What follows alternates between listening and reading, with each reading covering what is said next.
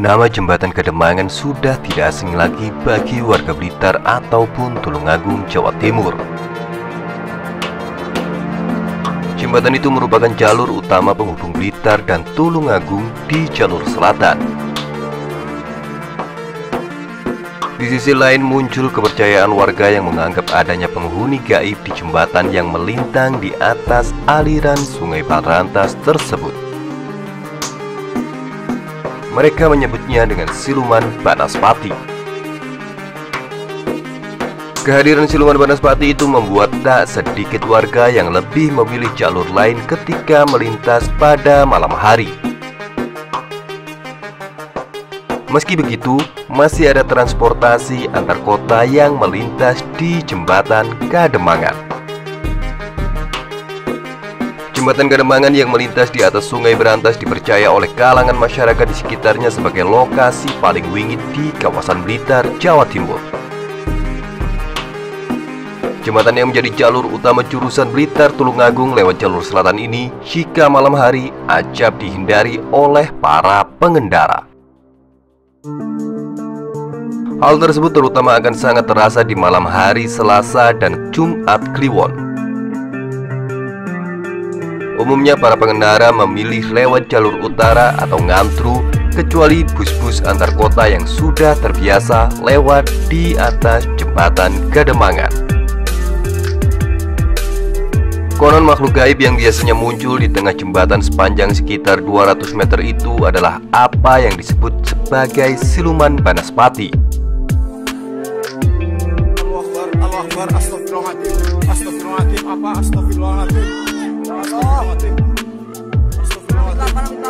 Penamatan makhluk lembut itu berwujud kobaran bola-bola api yang datang mendadak dan sekonyong-konyong menukik dari angkasa malam.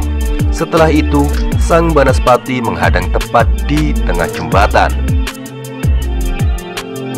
Menurut saksi mata yang ditemui setelah mendarat, aksi selanjutnya makhluk-makhluk itu biasanya cuma berputar-putar mirip gasing tetapi bila nekat diterjang akan membakar tubuh korbannya.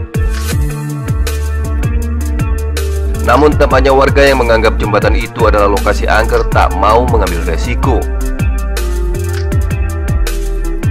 Rumor yang berkembang dan dipercayai adalah bahwa si Banaspati tersebut bisa mencelakai siapa pun yang melintas. Si Banaspati yang merupakan bola api itu bisa saja tiba-tiba muncul di tengah jembatan. Jika sudah muncul, dipercaya bahwa siluman itu akan berputar-putar seperti gasing. Warga setempat juga percaya jika ada yang nekat menerobosnya maka bisa mengakibatkan hal yang di luar nalar yang dialami oleh Parlan, pria yang berprofesi sebagai penjual bakso keliling ini punya pengalaman yang tak kalah menegangkan. Ceritanya, suatu ketika selepas dini hari dia ingin pulang ke rumahnya setelah berjualan bakso keliling. Ketika sampai di tengah jembatan Kademangan, tiba-tiba muncul bola api dari angkasa.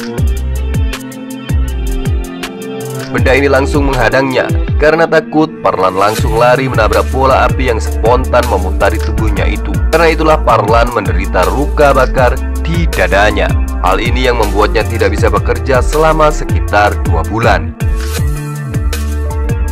Menurut Mbah Martono, orang pintar di desa Gawang, setan api bernama Banaspati itu sudah lama bermukim di sekitar jembatan Kademangan.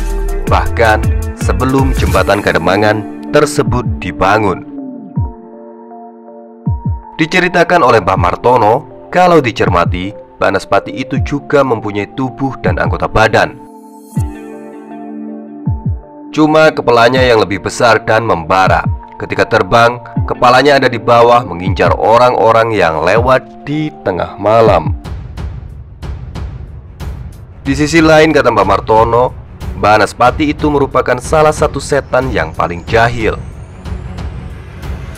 Setiap kali ada orang yang melakukan semedi di tempat-tempat keramat, yang pertama muncul dan mengganggu adalah hantu dari ras ini.